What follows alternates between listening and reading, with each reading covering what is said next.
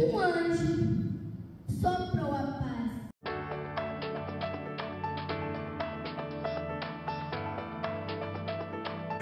Há 30 anos nascia uma grande ideia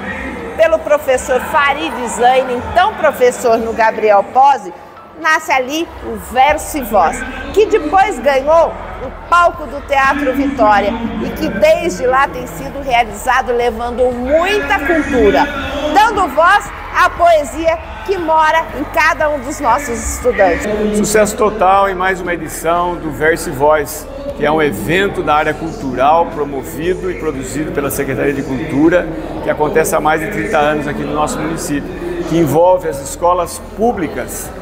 do ensino fundamental e do ensino médio, dando a eles a oportunidade de ter esse contato inicial com a cultura que é tão importante na vida das pessoas através da declamação de poesias e poemas que acontece.